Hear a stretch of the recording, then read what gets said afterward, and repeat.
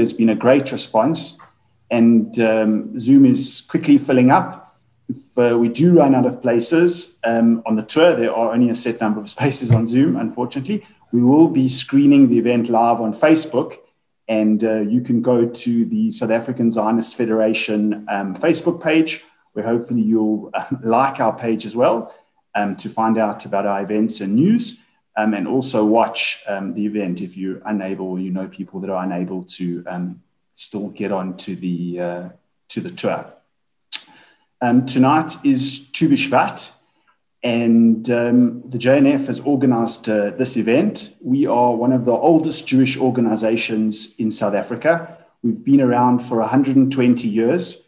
This is our 120th anniversary, believe it or not, and uh, have made a tremendous contribution not only to buying the land of Israel, but developing it. Um, agriculture, dams, forests, uh, roads, parks um, have all um, come about with the money from diaspora Jewish communities, um, of which South Africa has played a, a major, major role. And hopefully tonight um, in the tour, you'll see some of the contributions that South Africa um, has made to the development of the land of Israel.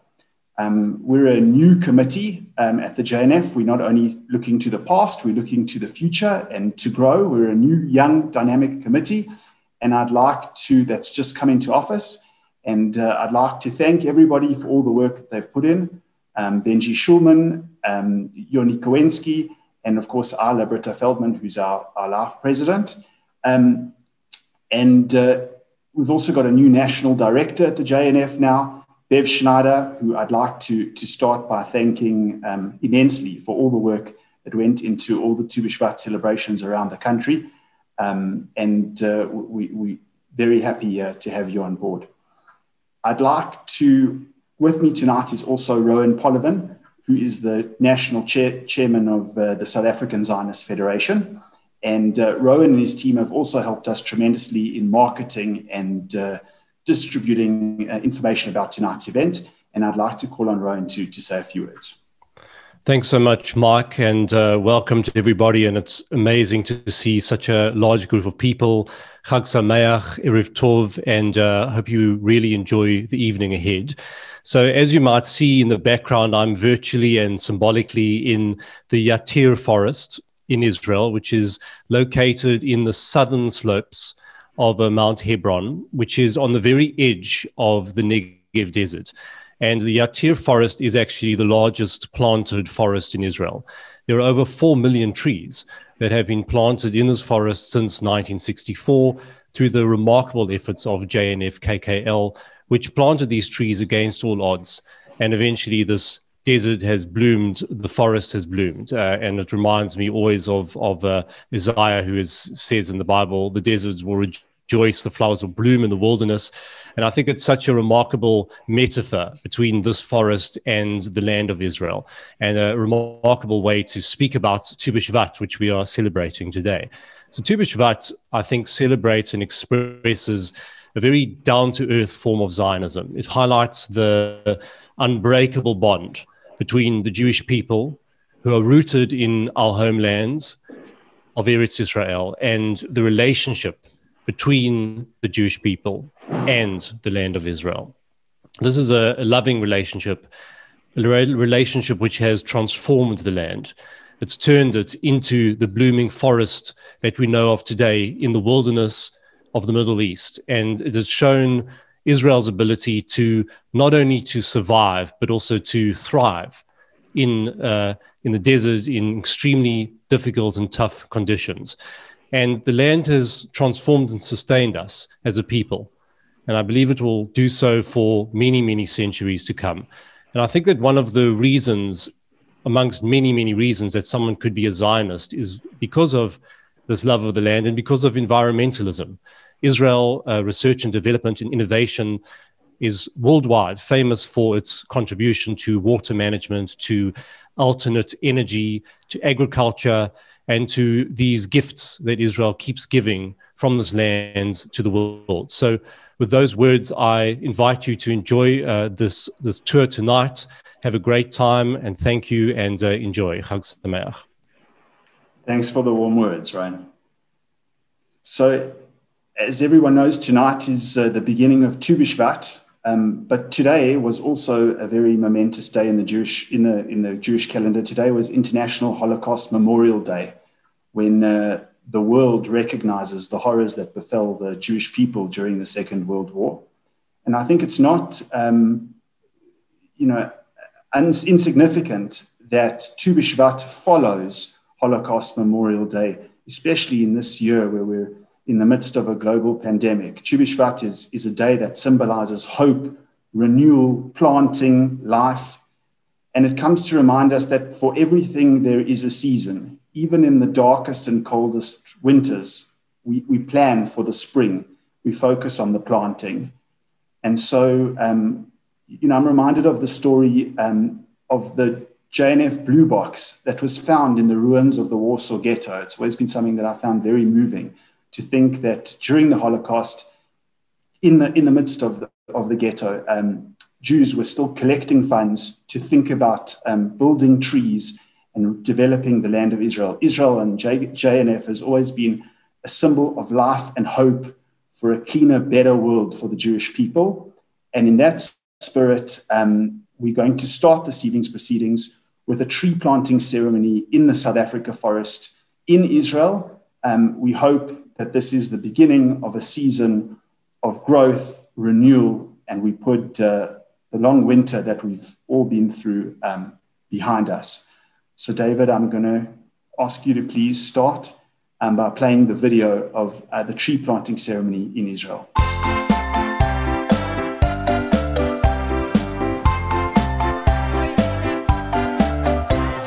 Chag Sameach South Africa, how are you? Welcome to the Tzorah Tree Planting Center, not so far from Jerusalem. And we are very happy uh, to welcome you here for the celebration of Tu B'Shvat. So what is Tu B'Shvat about? Why actually in the middle of the winter we are celebrating a feast for the trees, Chag Ilanot? Because if you're looking around, you can see that the beginning of the blooming of the trees starting now. We're also counting the years from the time we are planting a tree, the three first years until we're allowed to eat the fruit through Tu B'Shvat. In the time of the temple was the date where from this date and on you will give the donation to the poor, to the Levites, to the priests. You will give them from Tu B'Shvat and on. But let's go back only 120, 30 years ago, the beginning of Zionism, Jews starting to come back to Israel. And the first Aliyah was established in 1882, brought Jews, especially from east of Europe, to build here colonies, moshavot.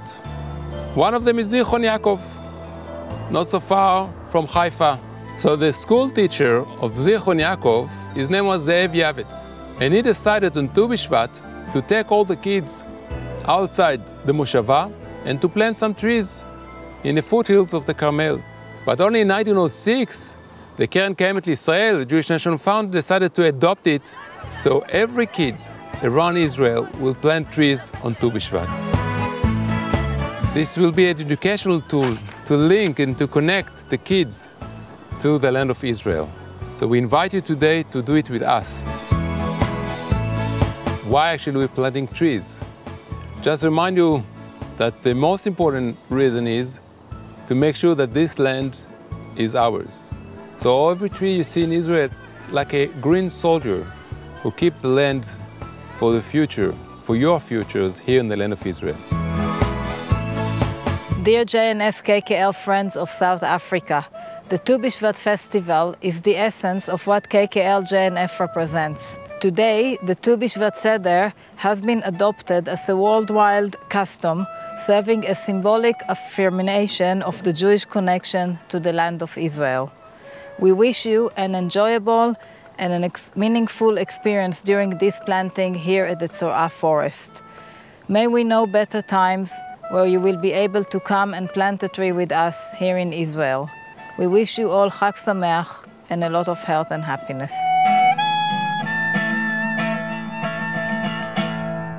Dear friends, Tu B'Shvat Sameach, Here at the tree planting center of the JNF, the foothills of Jerusalem, everyone has got the privilege and the uh, opportunity to plant one's own tree while arriving in Israel. Due to COVID 19, we still have this tree planting, but via Zoom. While traveling in Israel, one has the privilege to see forest landscape. But I think one doesn't realize that this forest landscape was planted. It was planted by pioneers who arrived in Israel about 120 years ago. But the vast majority of the planted terrain in Israel was planted in the 50s and the 60s of the last century. Right after the creation of the State of Israel, tens of thousands of newcomers were employed by the JNF by tree planting. They have planted about 240 million trees, which makes together a quarter of a million acres. This is our forest landscape. In once a desolate land, there are many trees growing now. Trees that have been planted, deciduous trees, evergreen trees, and coniferous trees. These are the trees that the Jewish National Fund has planted to green up the land of Israel, to prevent erosion, to create recreation, to better the land, to stabilize the land. So, wherever you are, please plant a tree. Our Heavenly Father, you who build Zion and Jerusalem, take pleasure in your land and bestow upon it of your goodness and your grace. Give dew for a blessing and cause beneficent rains to fall in the season, to saturate the mountains of Israel and her valleys, and to water there every plant and tree. And these saplings which we plant before you today, make deep the roots and wide their crown, that they may blossom forth in grace among all the trees in Israel, for good and for beauty. Look down from your holy place, from heaven, and bless this land, that it may flow again with milk and honey. Amen.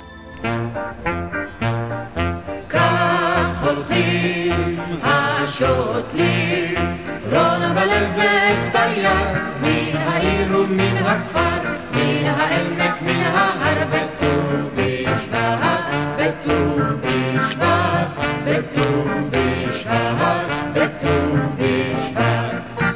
למה באתם השוטרים? נכה בקרקע ובצור, וגומות בהרים show. Betu Betu Betu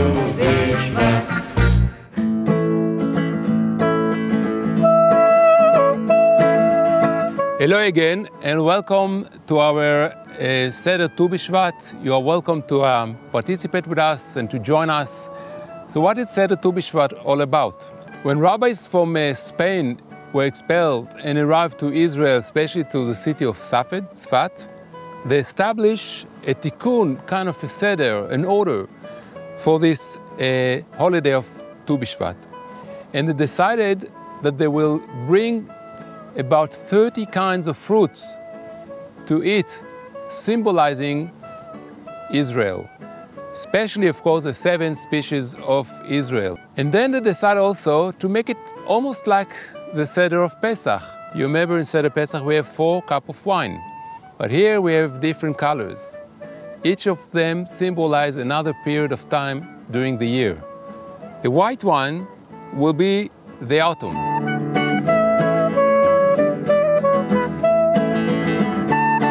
The one after is a mixture of white and red. This will be the winter. The winter is the beginning of the rejuvenating. This will be the date of Tu B'Shvat right in the middle. Then come the spring, everything full of colors, everything flourishing, blooming, and we ending, of course, with the season of the summer, the hot summer, especially in Israel. That will be the red wine.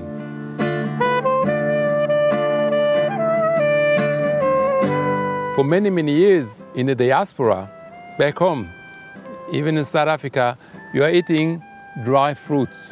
Therefore, there's no reason to continue with that custom. We can eat today fresh fruit that grow here in Israel. And hopefully, very soon, you'll be able to join us and to eat with us the fresh and tasty fruit of Eretz Israel. Like in Shabbat, first we are blessing on the wine, then we'll bless on the fruit, and uh, Chag Sameach. ברוך אתה אדוני, אלוהינו מחולם, בורא פרי הגפן.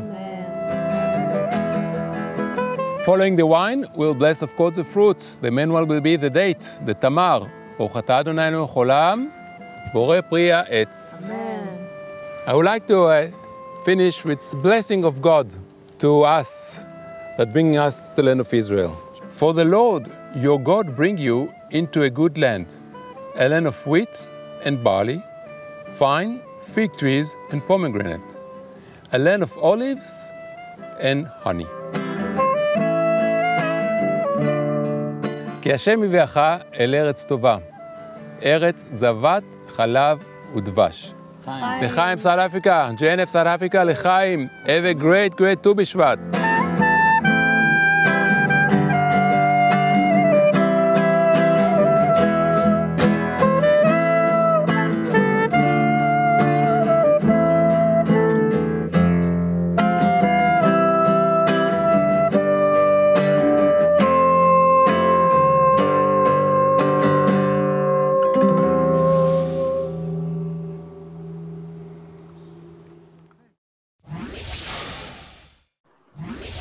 Again, a big thank you to the KKL for organizing that um, despite the lockdown.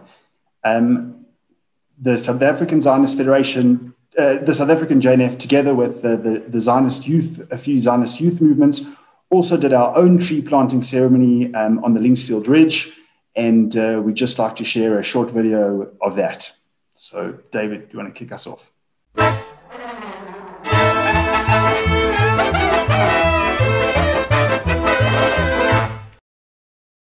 JNF South Africa are here at the Linksfield Ridge with the soldiers, B'nai Akiva and Beitar for Tu B'Shvat to plant a tree.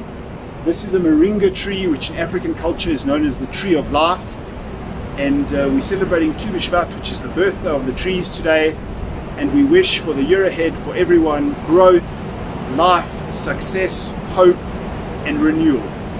Thanks for joining us.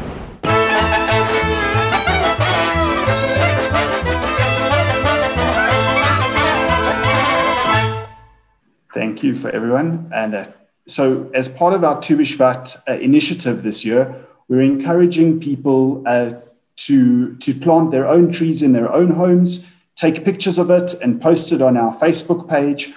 Also, if you'd like to plant a tree in the land of Israel, to please contact our office or email us or, or come or come to us, contact us via our Facebook page, and we will happily plant um, trees on your behalf um, in the South Africa forest um, in Israel, or um, JNF South Africa also runs um, uh, education centers in, in, in, in, poorer communities in South Africa, in Mamelodi, in, in Gauteng, and also in, in Durban. And uh, we're happy if you'd like to contribute towards uh, fruit trees um, that, we're, that we're planting in those, in those communities to promote uh, sustainable uh, development and uh, fighting hunger at this difficult time in South Africa. So please, everybody, um, for Tu B'Shvat, in memory of Tu B'Shvat, we'd really encourage you to, to plant a tree um, for this special holiday as well. So thanks a lot. Um, now, I'd like um, to start with a special thank you uh, to our uh, former chair lady and uh, president, now president of the JNF, Ala Feldman. Um, she retired at the end of last year when, when I took over as the new chairman. And uh, KKL is, is put together a golden certificate for Ala um, to say thank you, a very special golden certificate, to say thank you for over 31 years of service um, to the, the JNF. She's played every role in the organization you can think of, from tour guide to fundraiser to secretary um, to chairperson to president. She, she really is, trees the blue box and Ala Feldman are the symbol of the JNF in South Africa. And we just like to take this opportunity to say thank you to Ala um, and all the work that she's put in um, over many, many, many years. Ala is also taken, I don't know, tens of trips, JNF tours to Israel. And so I'd like to give Ala an opportunity um, to speak and also to introduce the tour um, tonight um, that we're going to hold on the south of Israel, our, our, actual tour. So I'm going to now hand over to Ala Feldman. Thank you, Marco and Orna, for those kind words. Um, they've been very, very exciting years. And uh, also, I was headed up the South African Zionist Federation. So I have dual loyalties to both organizations. So thank you, everybody, for joining us on this Tu B'Shvat tour down south. Many of you joined me many times on the uh, South African uh, JNF tours to Israel over 20 something years. And some of you even went on the Israel Now tours, which from the Zionist Federation, which we did, and which were very successful as well. So tonight you're going to have an experience which will bring back all the memories of those wonderful experiences that you had. And I hope that when the COVID crisis is over, Alivar one day, you will be able to come with us and see the most wonderful miracles the JNF has performed since those tours. And because they're turning 120 years, they're not old, they're 120 years young. So just sit back and enjoy this wonderful experience in the south of Israel. And hopefully, if JNF agree, we might do one to the north of Israel because we have many projects both in the south and in the north. So Chag and sit, sit back and enjoy. Thank you. Dear friends of South Africa, I would like to invite you today to join us to the fantastic virtual tour of the Western Negev and the Gaza border. Since you cannot be with us here today, we have decided to bring Israel to you. We're going to take you through wonderful sites that KKL JNF has developed over the years, focusing on the donations from South Africa. I sincerely hope to see you here with us in the near future, touring Israel for real, exploring Israel, and helping JNF KKL to make Israel a better place to live in.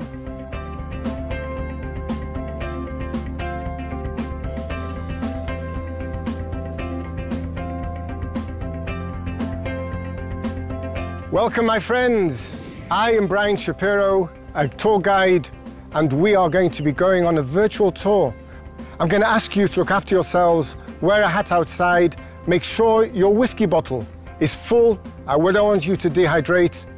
Guys, let's have a good time. Follow me.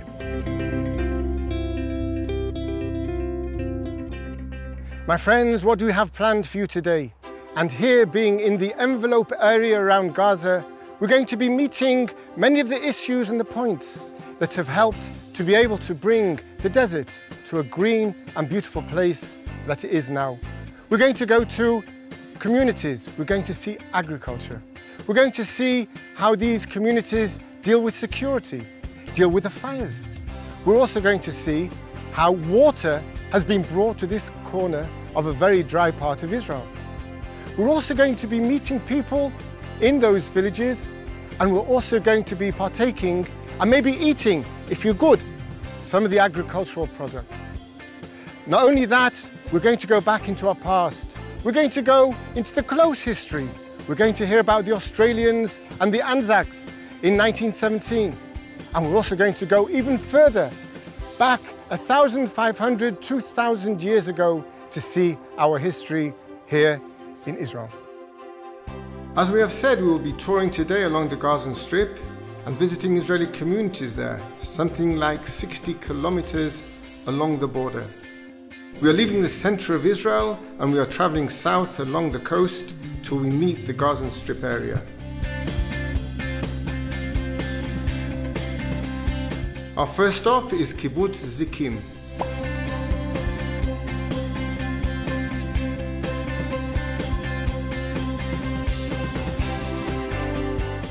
אני יושב כאן עם טל מור, רכז משק קיבוץ זיקים. מה שלומך, טל?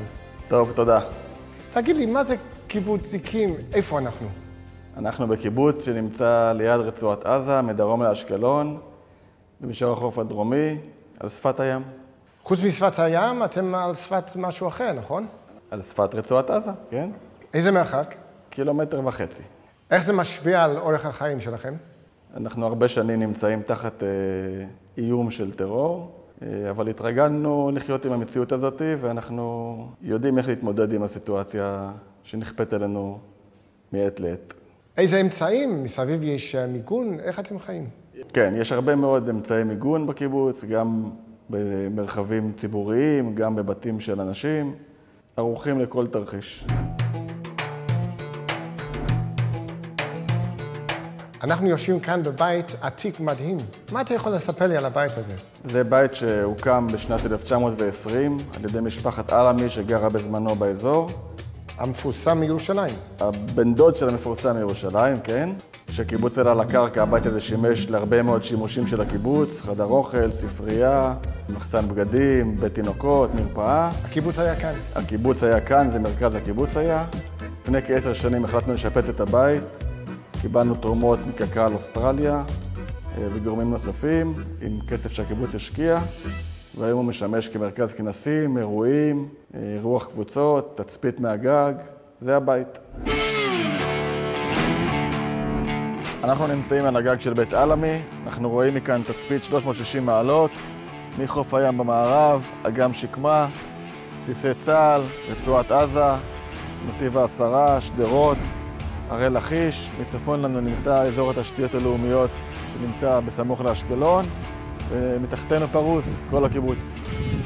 אני רוצה לחזור לנושא של ילדים כאן בקיבוץ. איך הם מצליחים להתמודד ולחיות חיים נורמליים במצב כזה? הילדים אה, לומדים לחיות לתוך המציאות הזאת. יש אה, מיגונים בכל מקום, גם בגני השעשועים, במרחבים הציבוריים. וילדים אה, יודעים שאם יש אה, התראה של צבע אדום, הם רצים למרחב מוגן, אה, הם מחכים שתעבור ההתראה וממשיכים לשחק. בוא נשחק. בוא נשחק.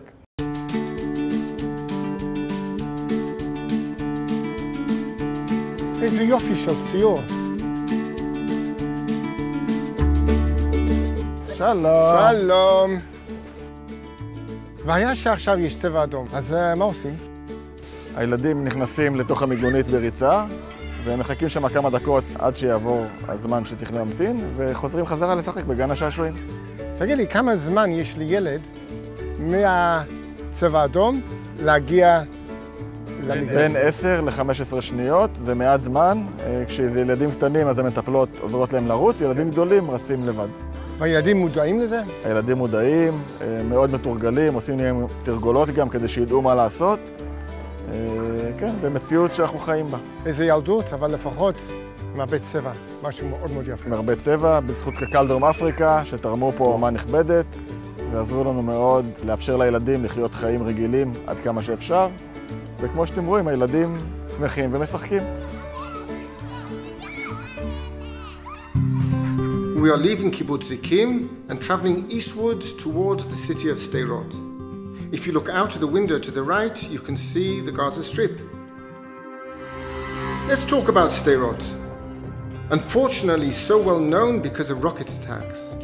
A periphery town so far from the center of Israel, definitely not an easy place where to live. Over the years, the JNF KKL have invested so much in this town. In fact, the name Sderot is from the boulevard of trees that the new immigrants planted while working for the JNF in the early 1950s. We're going to meet Kobi, the Kabat, who is the head of security of Sderot, to understand what does it mean to live here. Shalom Kobi, ma. Shalom Adoni, baruch Hashem, kol beseder. מה זה שדרות? מקום יפה, שקט, פסטורלי, או לא? אם אנחנו ניקח את הבעיה הביטחונית ונשים אותה בצד, שדרות זאת עיר מדהימה. זאת עיר עם אווירה של כפר, של מושב. וזה שאתם רחוקים מהמרכז, מתל אביב, מירושלים, במשך השנים זה השפיע?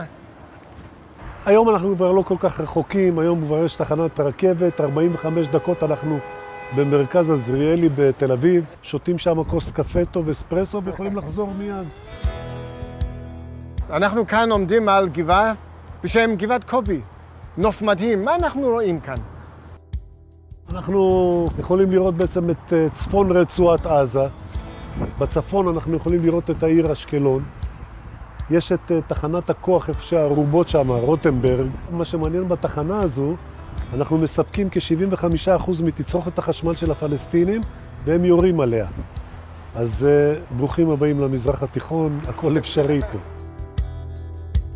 המרחק מהנקודה שאנחנו עומדים בה ועד לבית הראשון בבית חנון הוא קילומטר uh, 700. קובי, תגיד, את האמת, אתם מרגישים בטוחים? ילדים מצליחים לגדול ולצמוח כאן? העובדה שכן. להגיד לך שזה קל? לא.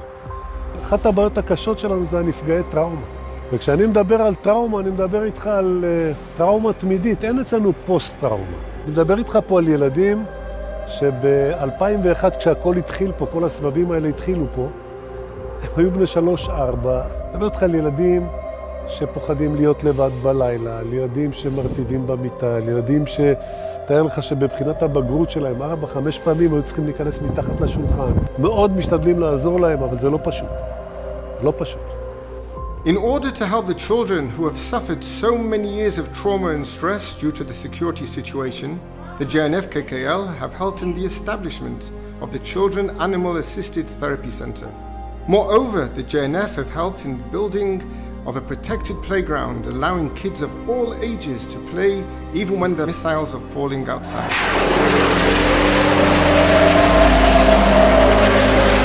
אם היית שואל אותי למשל, קובי, אתה חצי שעה עומד ומסביר שקשה לחיות פה, והטראומה, ו... ואיך זה בכל זאת קורה שמתפתח פה והכל גודל וכולם באים? שתי אפשרויות, או שאנחנו פסיכים, אנחנו גרים במקום שכל רגע נתון יכול לקרוא לנו משהו, אבל אני חושב שמעבר לכל מה שסיפרתי לך, יש בנו גם קצת ציונות. אני יכול לבשר לך שאנחנו היום נושקים ל-30 אלף איש, בעוד חמש שנים אנחנו נהיה פה 50 אלף איש. You might be surprised to hear that the JNF KKL have over the last couple of years invested tremendous effort in land preparation and infrastructure for the building of new neighborhoods here in Sderot. And one is called the Music Neighborhood because from Sderot there have been a stream of singers, artists and music groups. In the center of the neighborhood, the JNF has built a large playground and a lake to attract tourists. קק"ל עושים פה עבודה מדהימה. זאת אולי הזדמנות גם להגיד להם תודה על כל מה שהם עשו בשבילנו ועושים פה. כי כל מקום שאתה הולך, אתה רואה שלט של קק"ל ובסיוע קק"ל. רק שאפו אני יכול להגיד עליהם. רק שאפו, באמת שאפו. Having heard a little bit about the town, let's drive through and see some of the areas the JNF have helped. To the right, you can see the Resilience Centre. To the left, one of many parks that the JNF have built. To the right, you can see the sign telling about the establishment of the JNF House of Excellence, a fantastic project by the JNF to give a massive push to secondary school students, both towards the army and academic futures. We will pass the JNF Square, and on the way, take note of the protective bus shelters dotted left and right of the road. By the way, South African JNF have also donated bomb shelters to the new immigrants who arrived in the 1990s to the town of Ofakim, further south from here. We are leaving Sderot. It is truly a spectacular story. And we're headed to Kibbutz Nir Am, one of the oldest of the communities from the beginning of the 1940s. Though security is a major challenge, water for agriculture is no less. Kibbutz Nir Am sits on a water table and supplied the 11 new communities which were established under the noses of the British on the evening after Yom Kippur in 1946. There's a small museum telling us the story. Today, agricultural water is supplied from the Nir Am Reservoir. Water being the source of life. And behind me is the Nir Am Reservoir, which holds up to a million and a half cubic meters of water. The water, in fact, is not local, but the water comes down from the Shafdan, from the filtration and purifying plants near Tel Aviv. The water goes through different stages of purification to will end up over here, and it is the, one of the reasons for the success and the flourishing of agriculture here in the area, no longer needing to pump water from the deep ground, but we're now using grey waters as they are called, purified and it's good for agriculture. Which makes me turn to the people of Tel Aviv and thank them for all their donations, which they give us daily to be able to fill this reservoir. More importantly, the reservoir was built with the help of Canadian JNF, KKL, and of course, they have a finger in the pie. Thank you very much. We are continuing further south along the border to Kibbutz Nahal Oz, which more or less actually sits on the border with Gaza. And to tell you the truth, I'm a little bit nervous, and I hope it will all be okay.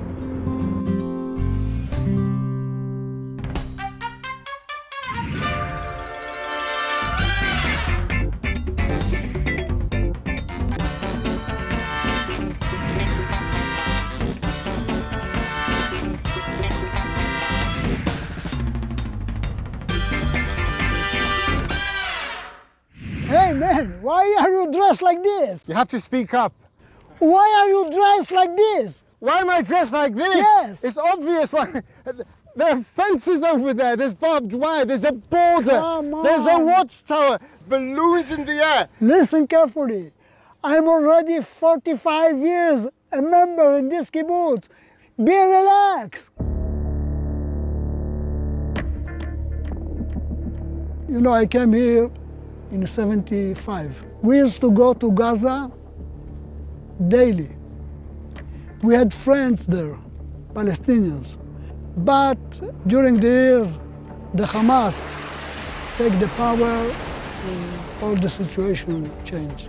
We see neighbors over there. How far away are they from you? This is the border. It's about 800 meters from the place we stand. That's all. 800 meters. Danny, it hasn't been easy living here, I'm sure. How have you been able to get over all the uh, challenges? In non-normal situation, we determined to live a normal life.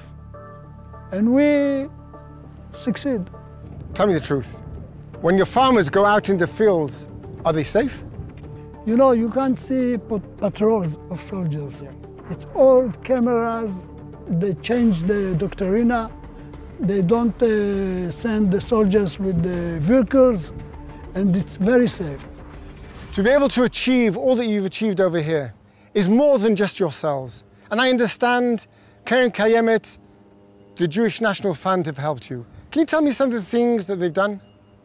First of all, I really want, in the name of Nahal Oz, to thank the JNF because they help out a lot. In what ways?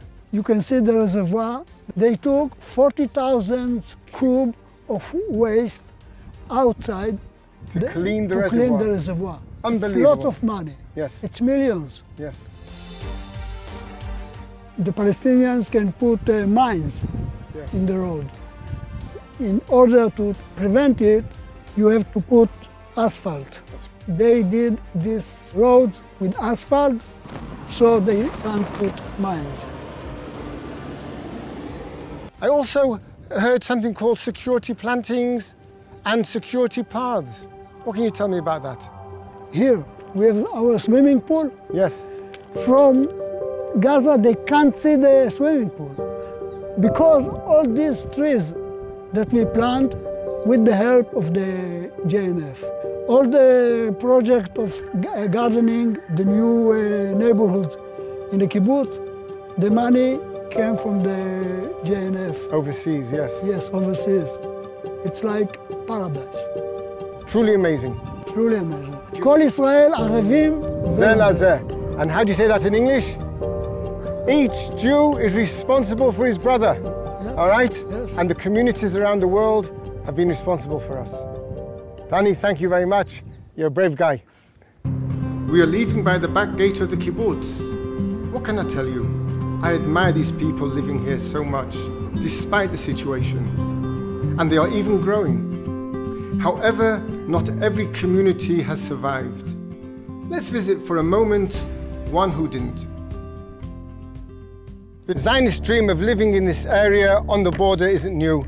in 1943, a group of religious Zionist youth from Bnei Akiva, from the Mizrahi movement, come to this area and they establish a kibbutz called Beirot Yitzchak. Beirot Yitzchak, over the couple of years that they are here, manage to start agriculture which hasn't been seen here for maybe hundreds, if not a thousand years. In 1948, unfortunately, the Egyptians target this area and bomb the hell out of it.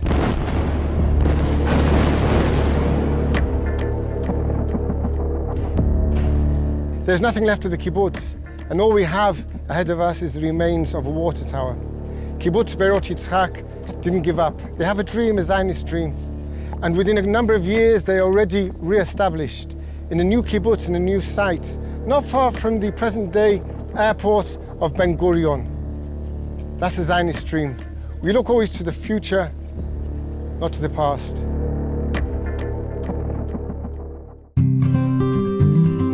We are now travelling on agricultural roads the JNF has built for the benefit of farmers. To our left is Kibbutz Alumim, and ahead of us, Kibbutz Be'eri, another one of those 11 points established in 1946. Behind the kibbutz is the JNF Firefighters Command Post, with the observation tower next to it. I'm here with Michael, he's from the southern region of the JNF. Tell me, where are we? We are here actually in the very heart of the western region, which is one of the largest probably regions of uh, KKL. It spans from uh, the very fence of the Gaza Strip up to Beersheba in the east. All this uh, desert afforestation uh, project runs from Eilat to Ashdod, more or less, which is a very vast territory, over the 16,000 hectares. What have been the major challenges that you've had to face here with forestation here in the desert? The main challenge is the climate itself. Of course, the major point of this climate is the water availability to the vegetation, which makes us base our activity on a lot of science and, a lot of uh, experiments that we put. And I understand, looking at the newspapers, history over the last two, three years, you've had another challenge. Yeah, we have another challenge, which is the forest fires. Being very close to the Gaza Strip, this is actually the focal point of the firefighting activity of the region and maybe of the entire district. How much damage has been done to forestation and to agriculture because of the fires? Approximately 4,000 dunams of the forest has been damaged, which were particularly lowered this uh, year because we made some preparations and uh, becoming more sophisticated. Crew is a group of people of very fast and first respond to the fire and this here is one of the gathering point which saves the responding time which is very important and of course this has an influence on our ability to, to protect the area. Over the last couple of years I've been reading in the newspapers about something called security planting, Yu'obit What is it? This is a very large and very important project that we started back into 2012 after shootings on a pupils bus that killed actually the, the one of the pupils.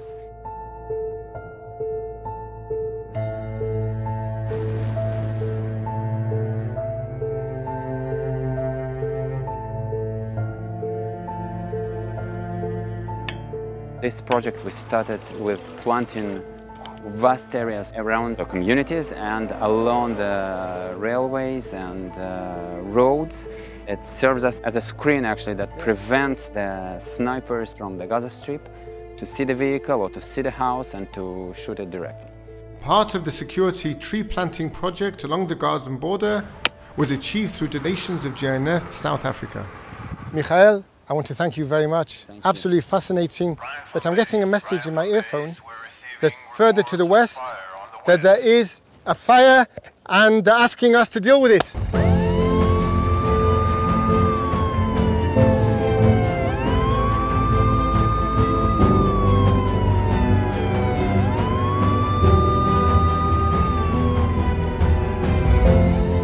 Good news! I'm happy to report that the fire was extinguished with minimum damage. But more important, the firefighters returned safely to their base.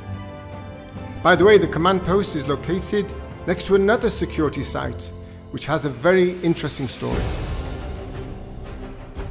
Part of the story about the Second World War with the British, Rommel is already being successful in North Africa, and this is one of the areas closest to the south that um, the British High Command are trying to make a defensive line.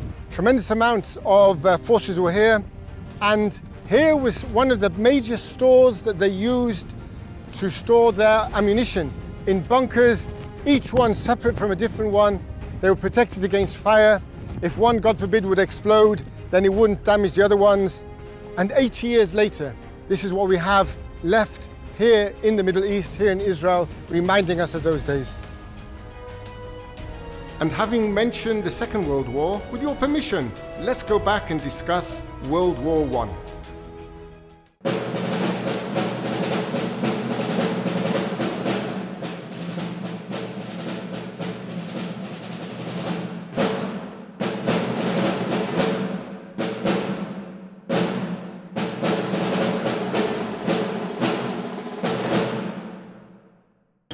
Hello mates, back in Australia. This is Bruce. I'm here in Israel and I'm here after two nasty battles facing the town of Gaza, which is over there. We arrived in the area at the beginning of the year in 1917. And on the 26th of March, we and all the uh, Allied forces in the area attacked the town of Gaza. We know that if Gaza falls, then the entrance the land of Israel will be open. Guys, we attacked with full force and we're Australians and we know how to fight. And we, the Australian soldiers, get almost to the center of Gaza. We get to the hill, the highest point of Gaza, Ali Muntar, and all of a sudden, some jackass of a British general, he tells us, withdraw. Withdraw! I can't believe it. We've left dead in the field. Johnny and Bernie and old Bugsy, they're out lying there at the moment. And worse than that, I'm not, you know what? It makes me sick to even think about it, because it's the same jackasses who sent us to Gallipoli. But now I'm going to tell you about the second battle. And that second battle, we do exactly the same thing. And the Australian soldiers go ahead, and we're the spearhead of all the attacks. The British think they're clever, and they bring some new fangled machinery called a tank. And these tanks a crap, which makes so much noise and gives away the element of surprise. And once again, we as the Australians, we get almost to the end. We get through all the obstacles. We actually see the whites of the eyes of Johnny Turk. It's hot, it's dusty, we're in the desert. There are flies and fleas. There are mosquitoes, the size of small horses. And once again, the battle collapses and we withdraw. And we've been here now for the last couple of months in this area. Now I can't shout. And I've got to tell you a secret. This is a military secret and don't tell anybody. The British generals have changed. The old idiots have moved out. General Allenby has been brought in. General Allenby, he's a revolutionary soldier. And he trusts us Australians and he knows our ability. And what he has decided to do is that we're going to quietly we're going to quietly leave the area. We're going to leave Gaza. Let Johnny Turk think that we're still sitting here. And instead, we're going to go all the way around. And we're going to attack, not Gaza, we're going to attack Beersheba in that direction. The plans are for a cavalry charge. And we, as the Australian light cavalry, we're going to spearhead it. And once that falls, Gaza, like a ripe piece of fruit, will fall in our hands. Send blessings home. Give my girlfriend Matilda a good kiss. By the way, I didn't ask how my sister Sheila is. How is she? She's doing okay? Speak to you after the battle. Bye.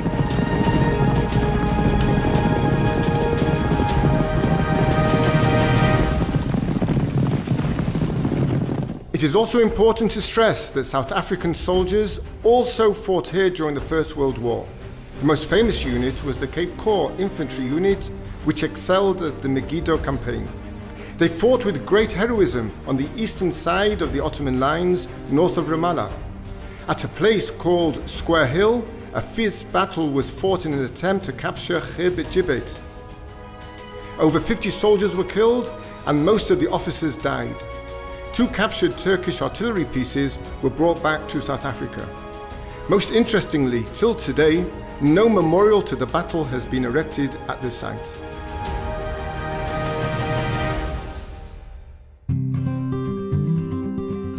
I'm feeling a little bit hungry, aren't you? Let's go for a picnic. I know of a lovely place. You want to come and join me?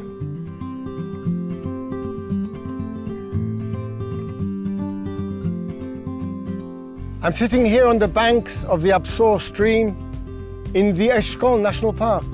What a better place to have a picnic, the best of Israeli food.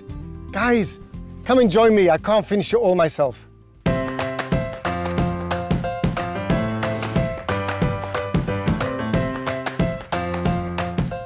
Park Eshkol, named after Levi Eshkol, the Israeli Prime Minister, is located on the road between Ofakim and Kibbutz Gvulot on the banks of the Nachal HaBesor, the HaBesor River. The park was established in the 1960s on a 3,000 dunam plot and the South African JNF KKL gave a large helping hand. In the center of the park are the HaBesor Shalala Springs. The park is well equipped with picnic spots and playgrounds and even has a paddling pool for kids. There are two archaeological sites, one from the early Canaanite period and another we will soon discuss. This park is truly amazing. Let's visit it. Behind me, we have an interesting hill, and at the moment for us it's just a hill called Givat Shalala. If you remember earlier, we were in Be'eri and we heard about the Anzac story. The British, the Australian soldiers with their horses, they've got problems with water. And here in the park, they managed to find an incredible source of water that we've seen earlier. But to be able to capture the place, they need to capture a hill behind us where there is a Turkish machine gun nest. And once captured, the Australian soldiers start looking around and they find that on the ground, on the floor, there's a mosaic. And that mosaic turns out to be one of great beauty.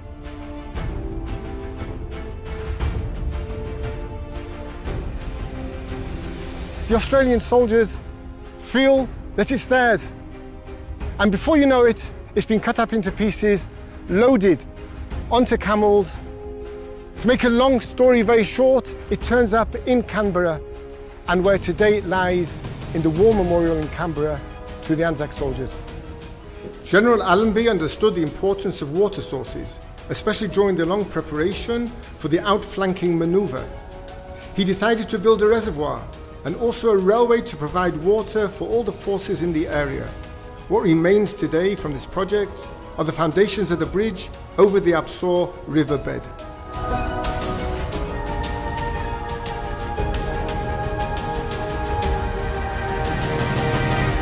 I hope you all enjoy the picnic of local cheeses and wines. We will travel south along the HaBesor riverbed, that same route where the Anzac soldiers rode on the night of the 30th of October 1917.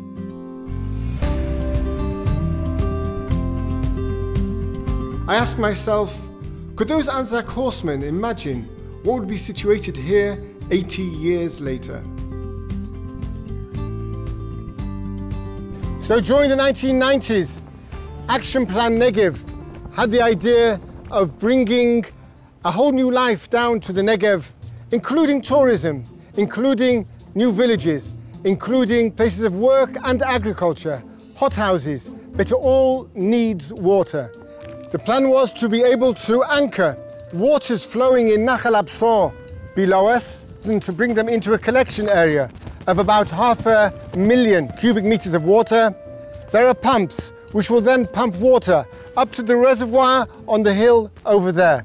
And when that is full, waters are then pumped through pipes to this massive reservoir behind us, all in all, 10 million cubic meters of water, a project, the one behind me, which is a joint project between South African and UK JNF.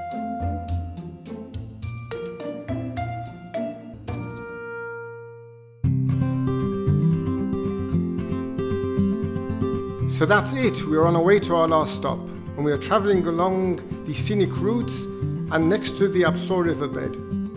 And soon we will see the suspended bridge above the riverbed. Have you noticed, by the way, the thousands of dunam of fruit orchards that have been planted in the Negev, all thanks to the reservoirs? Continuing south and just before the Egyptian border, we will turn left to the area known as the Chalutziot, a true desert miracle story. Rabbi Adler, good to see you again. How are you keeping? Thank you. Tell me, where are we? We are in uh, Chalutza, in the western Negev, right near the border of Egypt and the Gaza Strip. When you spoke about the we, who are we? We are a community that was evacuated uh, from Gush Katif 15 years ago. And uh, after we went through the uh, painful evacuation from Gush Katif, we had to make a decision where we want to continue, what's our next goal. And then the state of Israel came to us and told us, listen, the most important uh, place to uh, settle these days is Chalutza. Tell me, you didn't have enough trauma. You didn't have enough tough life. You got to come over here. You're right. It wasn't such a simple uh, decision, you know, to wake up the day after and uh, decide that you're continuing and you're going like to start a new uh, Zionistic uh, movement. We were part of a new area, which is called the Chalutza region. We have three communities here, Shlomit, Naveh, and Bnei Netzarim. Tell me, I I see buildings, I see playgrounds, I see trees, gardens.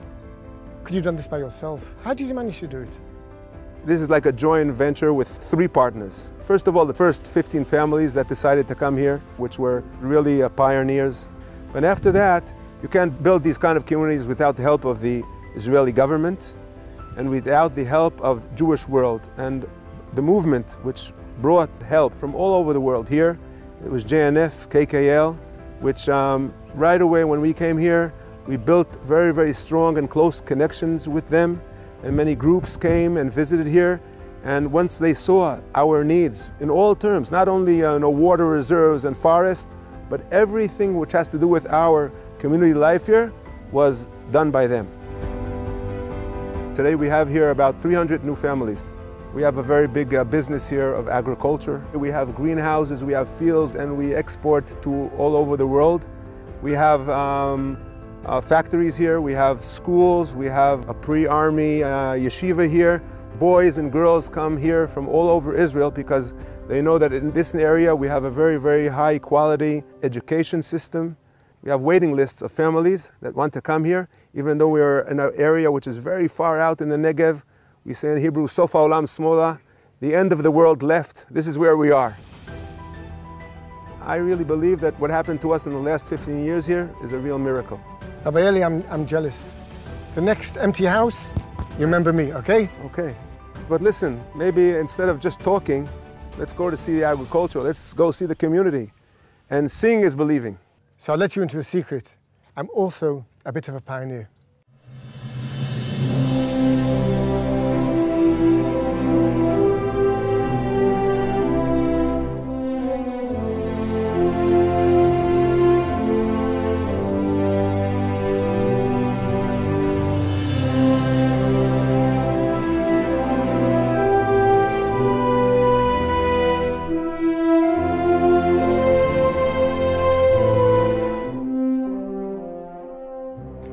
סדוק אחי, מה שלומך? מצוין, ברוך השם. תקשיב, אני נפעם. אני ראיתי תמונות של לפני 15 שנה מהאוויר. ראיתי מדבר, וכאן, עכשיו אני מסתכל, הכל ירוק ופורח. איך עשיתם את זה? דברים כאלה עושים לאט לאט, לא מהר. גדלנו והגדלנו, טעינו, הצלחנו, והגענו למה שיש היום. אתם מגדלים כאן ירקות, זה דורש המון מים. אנחנו במדבר. מאיפה לקחתם כל המים? המים בהתחלה באו מאשקלון, אה, ולאורך השנים שיפרו את המים, הוזילו את המים בעזרת אה, JNF, בעזרת קק"ל, ועד לפה הביאו צינורות של השפד"ן, שבסוף עוזר לנו לגדול באמת הרבה, ובעלויות מאוד נמוכות. מה אתם מגדלים? זה משק של ירקות עלים. בערך על 200 דונם חממות אנחנו מגדלים שמונה מוצרים, אה, ולאורך כל השנה. הרב אלי אדלר אמר עכשיו שהגעתם למקום שזה סוף העולם שמאלה. מה החשיבות של המקום הזה, הספציפי, המדברי? קודם כל ציונות, זה זה מתחיל. באנו פה להפריח את השממה, פשוטו כמשמעו, ואנחנו יודעים שהגבול קרוב, גם עזה, גם מצרים, הכל כל כך קרוב, שאם לא נהיה פה ונעבד את השדות ונגדל חממות, לא יודע מה כן יהיה פה, ולא רוצה לחשוב על זה. יאללה, בריין, באת לדבר או באת לעבוד? خلاص يلا, يلا.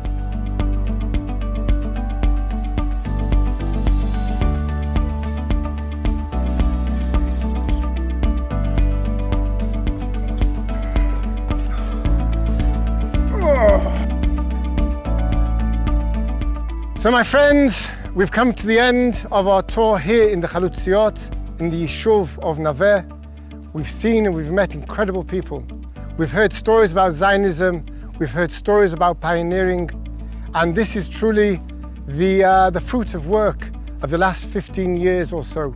We're standing on a place called Givat Kakal, the hill of Kakal, because 15 years ago when there was nothing around and there was no agriculture at all, the tractors of the JNF stood here and from here they went out to work every day.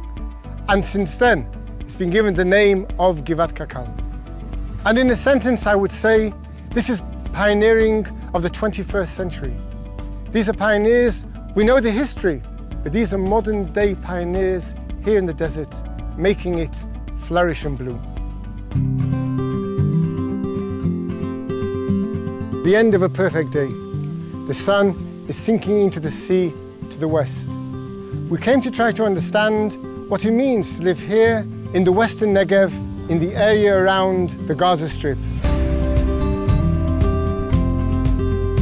We visited communities and met people living on the border in Zikim, in Sderot and Nahal Oz. Areas which for years have been under Qassam missile attack. We heard about JNF projects building protective playgrounds for children as well as security plantings and roads.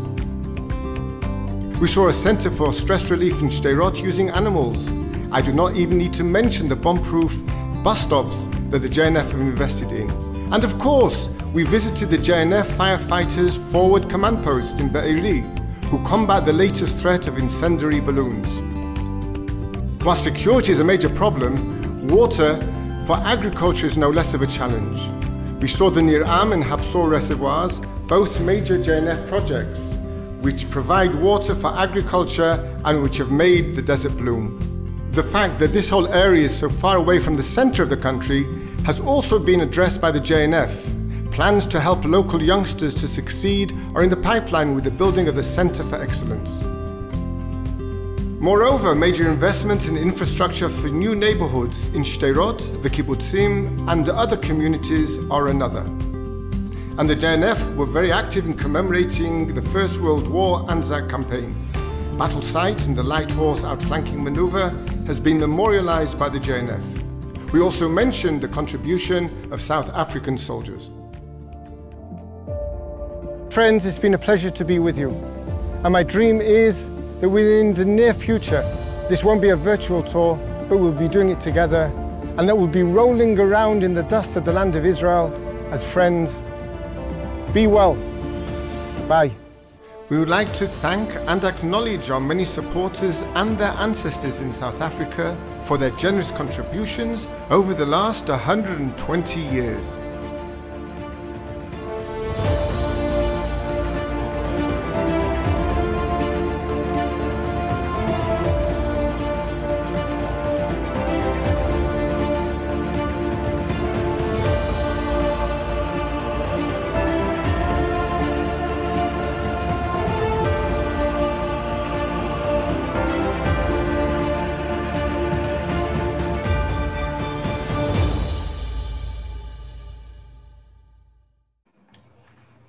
Thank you very much to KKL for that amazing tour of uh, part of Israel that most of us have never ever seen before.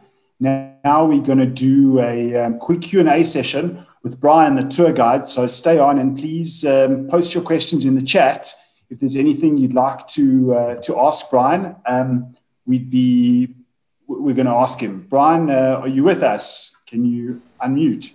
Yes, I'm definitely here. Hey, Brian. Well, thank you very much. It was really a great, a great tour. You you uh, got a big fan base now here in South Africa. Okay, so you know where to send the Oscar, is that right? Exactly, exactly. Brian, maybe we can start. You can tell us um, what it is about the people of the Negev that drives them, you know, such to live under such harsh environmental and uh, security conditions, and yet they thrive and continue to, uh, you know, inspire us all. What is it about about the, the people that makes them stay and, and, and build those communities? I think it's a belief in a dream.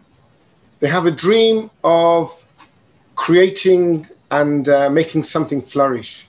And through all the challenges, they're prepared to stay there through their mistakes and through their successes till they finally come to make sure that something is going to be a success as we've seen it is. I think it's also they have a tremendous backbone.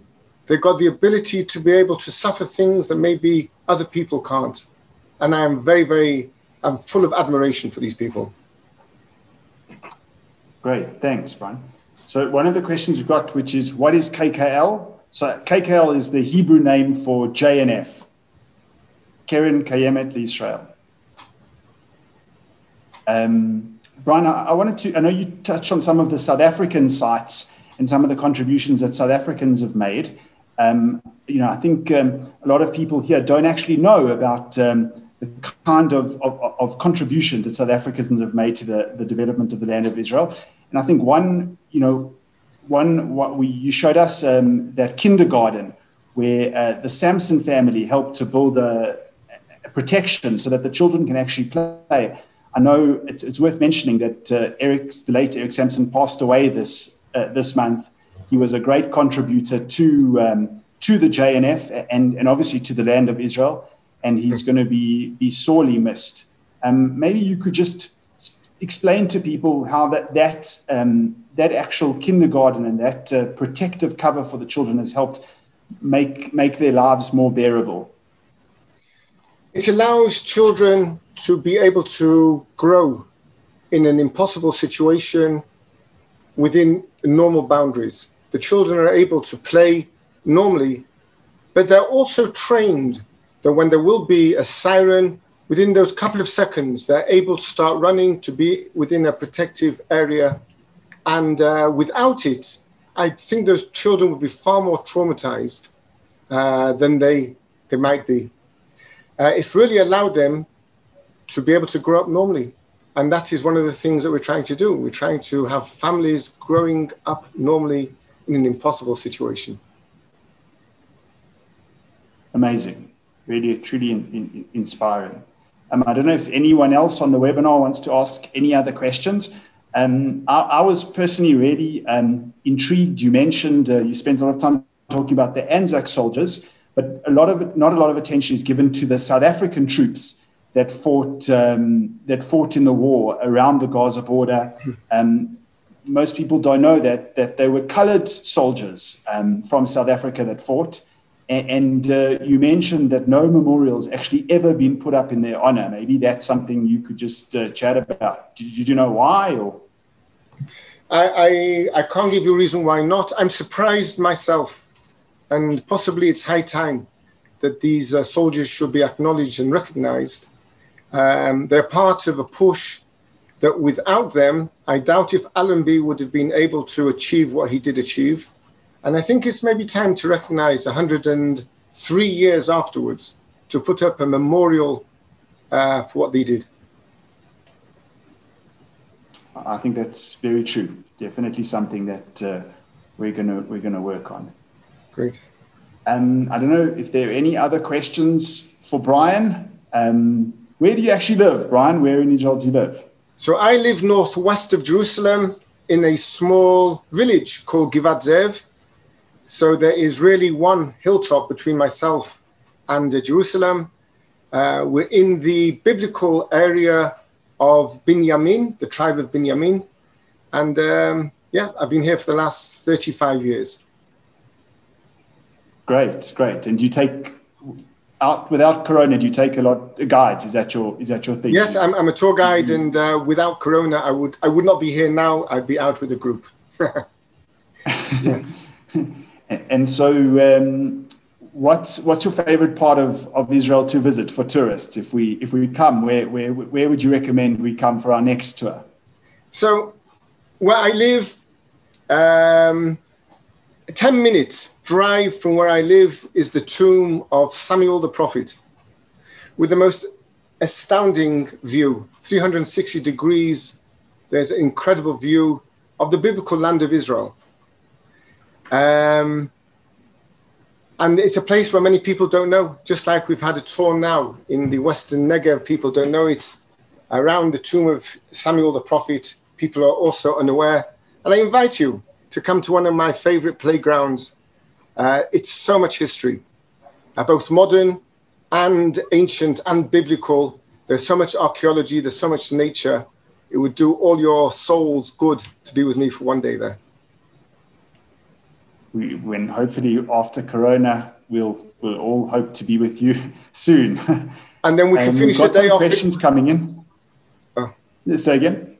I'm saying, we could finish the day off in my garden. I've got fruit trees. We're talking about Tu B'Shvat. You can sit in the shade of the fruit trees, and uh, depending on the time of the year, I would have fruit for you. Fresh fruit. Great someone asked a question where is all of this in relation to Eilat? That's probably the most most South Africans know of the of the south. Okay, so Eilat is the most southern corner of Israel. Uh, we are in the middle of Israel. You have to go north.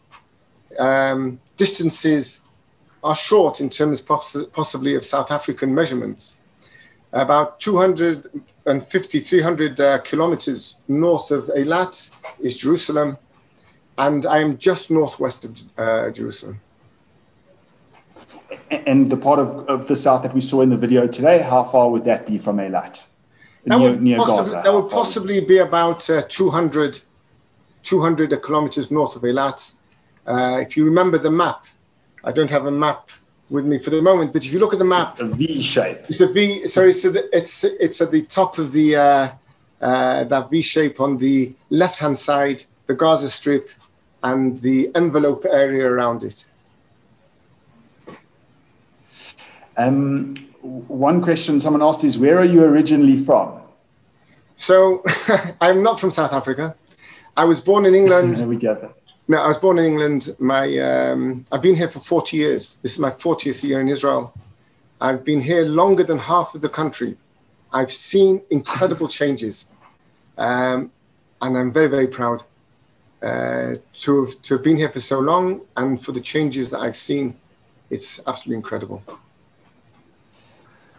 One question somebody asked, um, you know, at the end of the video, you showed us um, one of the Jewish communities from Gaza that was relocated. Um, um the question is, uh, are there others? Is that the only example of, of communities that were that were evacuated, or um, are there examples of other Jewish uh, communities from Gaza that have re- rebuilt themselves inside Israel? There, there are many of them. Surprisingly, those people who uh, went through the trauma of being uprooted and evacuated uh, were positive. And what they wanted to do was to continue with the Zionist dream. Uh, the question was, where are we now needed? And just like we saw in the uh, Chalutza, in the Chalutziot, these people wanted to do something positive, uh, other villages have also been established, other small towns have been established. That many of the communities remained as a community and have continued being so creative in the new places that they are. The, quest- the question was, where are we now needed? And that's how they did it. Amazing. After being, you know, uprooted from their homes, it's quite, oh, a, yeah, quite a thing that they're still yeah. committed. Um, Brian, you've got a lot of supporters here in South Africa. They want to know how they can organize a tour of you and that with you when they come to Israel, but we'll be happy at JNF to help facilitate that.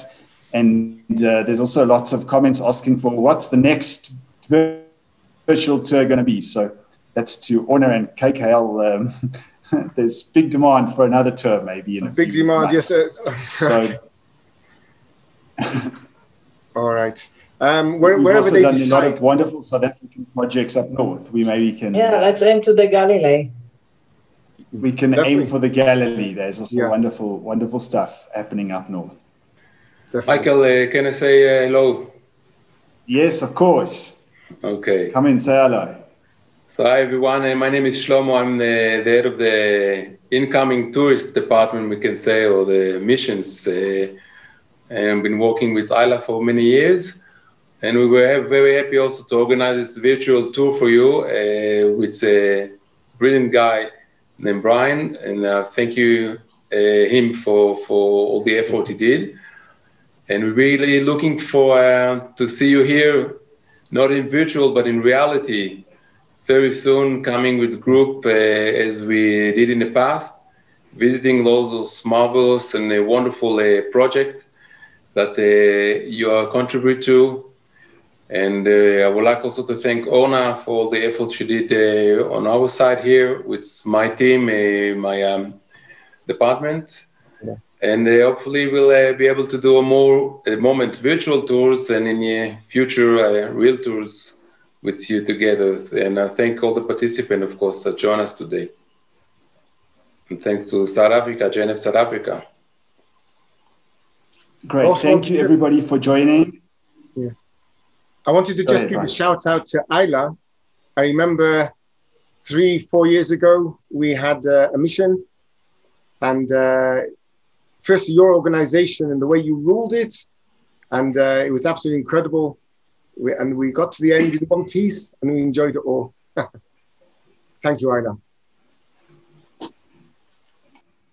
W- One question we have uh, from the audience is uh, Kibbutz Erez. Um, uh, Bernice Fine's husband was there during the Six Day War, and she says, Is it still there? Oh yes, Does anyone know? Yeah, yes, it is. It's still there. Yes. Right. Yes. Doing well. It's doing excellent. It's Yes, flourishing, we hope. thank God. Great. Well, thank you everybody who who, who came. Um, someone's asked for donation details, so um, you can contact the JNF office. We'll send out an email to all the people that registered, so that you can. Um, there we go. Thank you. Uh, you can contact the JNF office on 011 645 2579 or email Bev Schneider at uh, bschneider at jnfsa.co.za. Um, and um, we'll send out an email as well, and everyone will have a chance um, to plant a tree in Israel or a tree in South Africa at one of our environmental centers. And we look forward to working with you in the future. We're a new JNF committee. We hope to have lots of events. This is just the start of an exciting year and uh, wishing everybody a happy t- uh, Tu B'Shvat and uh, a good year ahead. Thanks all. Thanks everyone for all the help. Thank you. Chag Bye bye. Chag Thanks.